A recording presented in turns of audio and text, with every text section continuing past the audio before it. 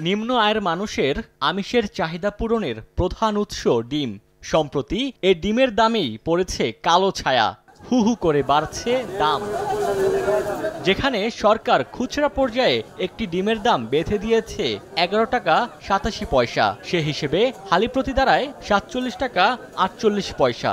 অথচ মাত্র কয়েক হাত ঘুরেই ডিমের দাম হালি প্রতি খুচরা পর্যায়ে বিক্রি হচ্ছে ষাট থেকে সত্তর টাকা পর্যন্ত। ডিম নিয়ে এমন কারসাজির সূত্রপাত কোথায়? উৎপাদক ও ডিলারের সিন্ডিকেটকে দুষছেন টাঙ্গাইলের খুচরা ও পাইকারি ব্যবসায়ীরা। তাদের অভিযোগ সরাসরি খামার থেকে ডিম কিনতে গেলে বিক্রি করেন না খামারিরা। বাধ্য হয়ে ডিলারদের কাছ থেকেই বেশি দামে কিনতে হচ্ছে ডিম। দুই মাস আগেও বেচছে চল্লিশ টাকা আলি আর হেডি ম্যাম চুয়ান্ন টাকা আলি হয়ে গেছে গা।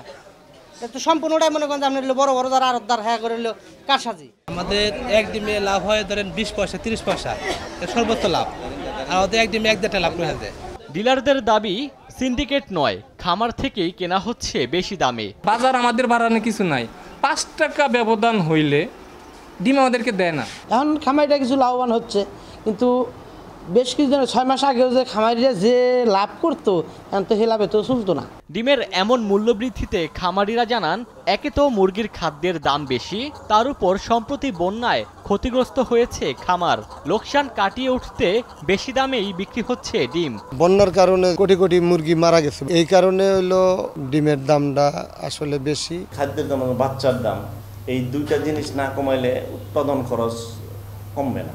ডিমের বাজার নিয়ন্ত্রণে নিয়মিত মনিটরিং করা হচ্ছে জানিয়ে টাঙ্গাইল জেলা প্রশাসন বলছে ভ্রাম্যমাণ আদালতের মাধ্যমে সিন্ডিকেটের বিরুদ্ধে ব্যবস্থা নেওয়া হবে।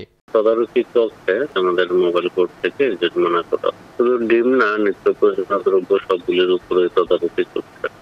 টাঙ্গাইলে প্রতিদিন ডিম উৎপাদন হয় প্রায় চৌত্রিশ লাখ আর চাহিদা রয়েছে এগারো লাখ। জেলায় খামার রয়েছে প্রায় দুই হাজার নয়শো। সময় সংবাদ টাঙ্গাইল।